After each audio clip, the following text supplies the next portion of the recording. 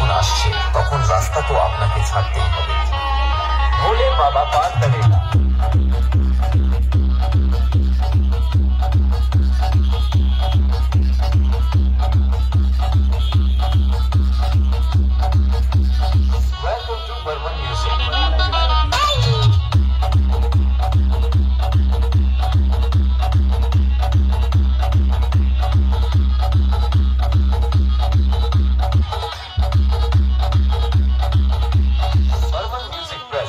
चंदीपुर से।